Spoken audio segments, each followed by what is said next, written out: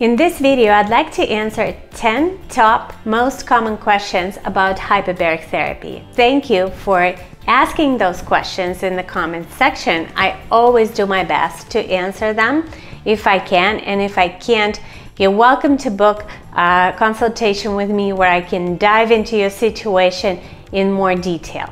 But let's move to these 10 most common questions.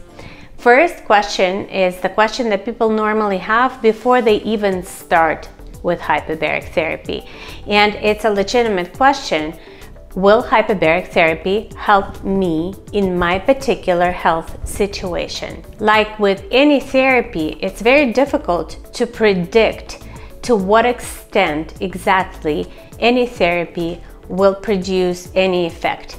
However, if a situation, if a health condition that you're trying to help is on a list of approved indications or off-label indications, chances are that hyperbaric therapy will make a difference and produce an effect. We're adding more and more uh, conditions to the list of off-label indications every day. Um, now there are more than 100 that include traumatic brain injury, autoimmune condition, um, many um, inflammatory diseases that can be helped with hyperbaric therapy.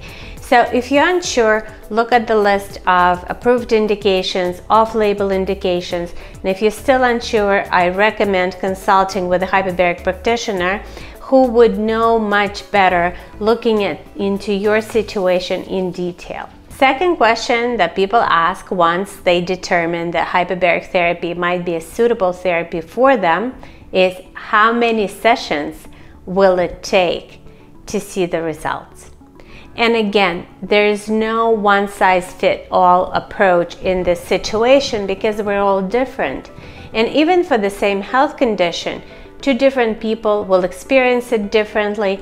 They will have different history, different therapists that they've tried, and so on. I should say that uh, minimum number of sessions that I've seen to be helpful in chronic conditions is 20 sessions.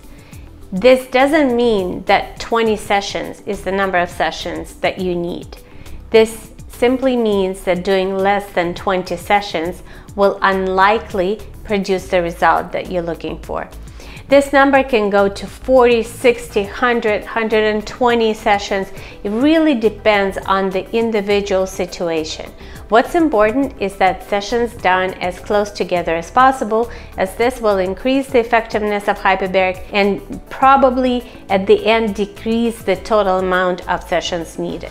Third question is uh, what is the best hyperbaric protocol it's a bit different from how many sessions needed because hyperbaric protocol includes several variables. Hyperbaric protocol looks at the pressure that we will be using, at the percentage of oxygen that we will be using, at the number of sessions, and the frequency of sessions. And frequency here is super important. As I said, hyperbaric therapy is not a one session therapy.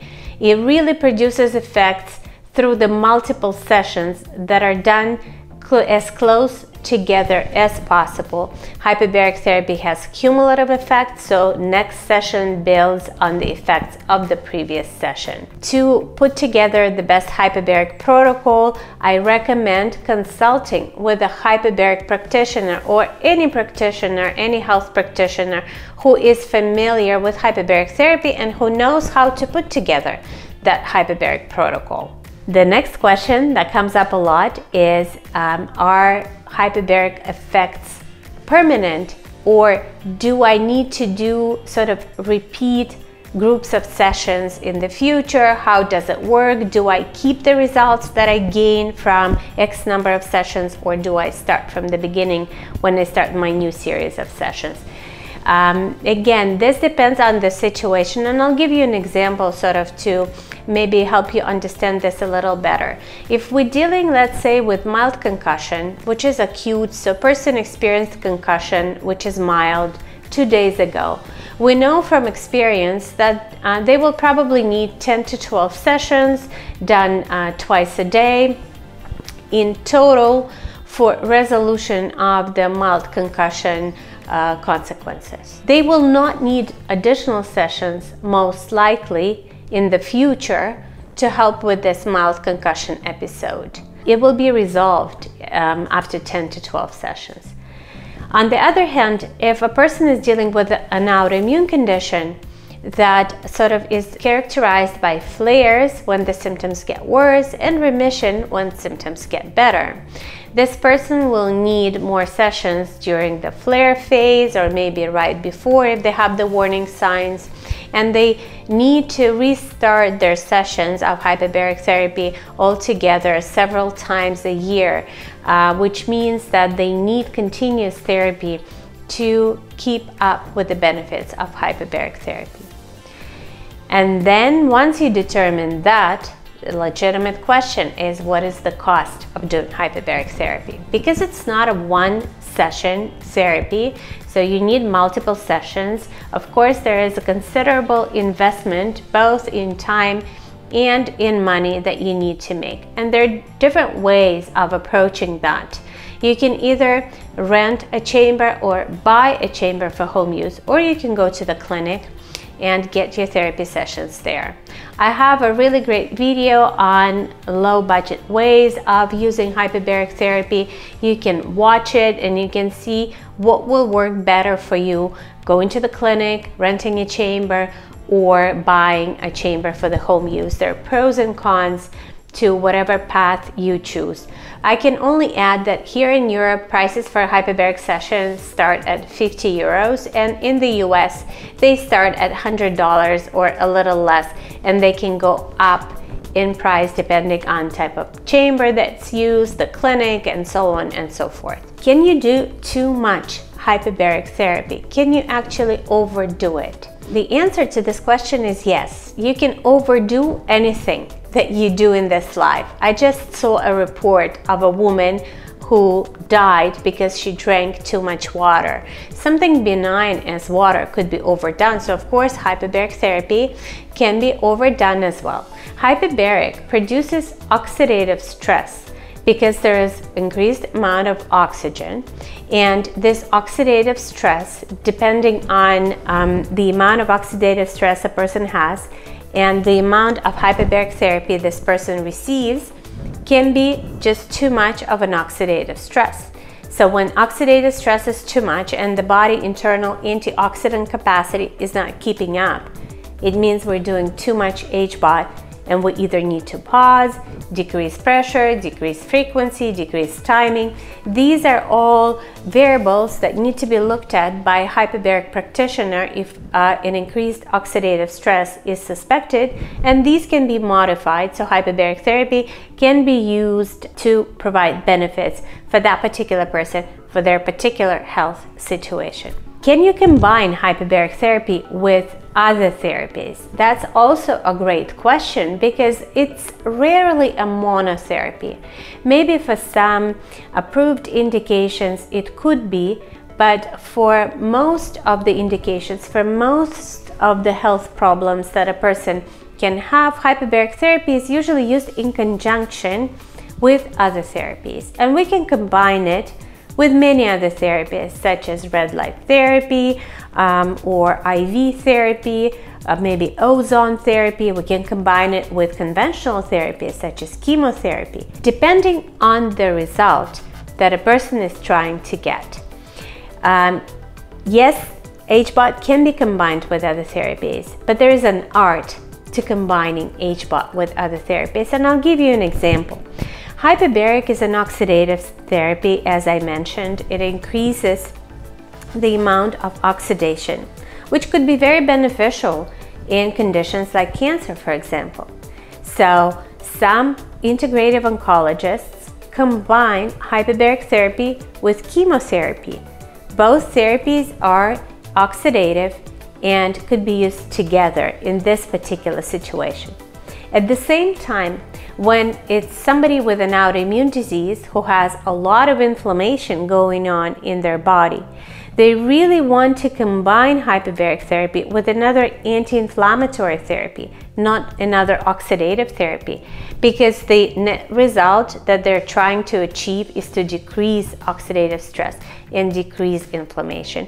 So yes, hyperbaric therapy can be safely combined with other therapies depending on the goal of that combination. And in my opinion, this combination, like anything else, this advice should be provided by a hyperbaric practitioner, but by somebody who knows how to combine those therapies together. What is the best health and wellness protocol? This again is a very common question because not everybody has a, a health condition. Many people are healthy it's very difficult to define healthy, but they consider themselves healthy, but they want to use hyperbaric as a preventative tool and also to take their health to next level. You can call these people biohackers. I really like to, the term health optimization and hyperbaric therapy fits really well into this whole health optimization and biohacking world. Now, in this particular situation, there are many different protocols that you can do to promote wellness and longevity and for health optimization. I personally do this particular protocol for myself and I'm to share it now. I do hyperbaric therapy for one month, twice a day, in the morning and in the evening for 60 minutes each time at 1.3 ATA of pressure. I use a soft chamber for that. That's my personal wellness protocol. After one month, I would stop for two or three months and then repeat the protocol. It's not the only protocol. You don't have to use this particular one. It's just an example of how hyperbaric can be used in a healthy person for health optimization. Another question that comes up a lot uh, from people who are getting familiar with oxygen therapy, with hyperbaric therapy, and even with ozone therapy.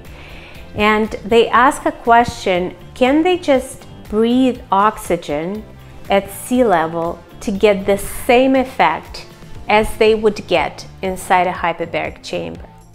And the answer to this question is no. You will not get the same effect from breathing oxygen at sea level as you would inside a hyperbaric chamber. And when I say inside a hyperbaric chamber, it doesn't matter. It's a soft chamber, it's a hard shell chamber. Whenever we're increasing pressure, oxygen, which is gas, gets dissolved in liquid, in plasma.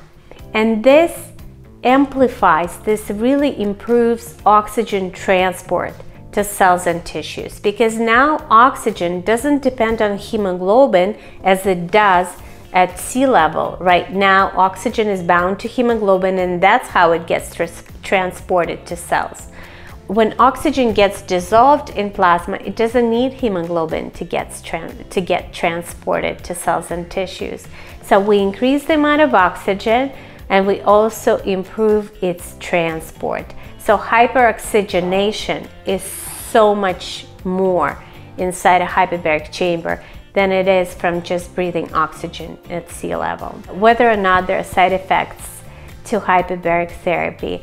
And it's a really good question because before you start any therapy, any medication, or any natural supplements, it's a really good idea to look at the side effects section and to see what can potentially happen and how to prevent that.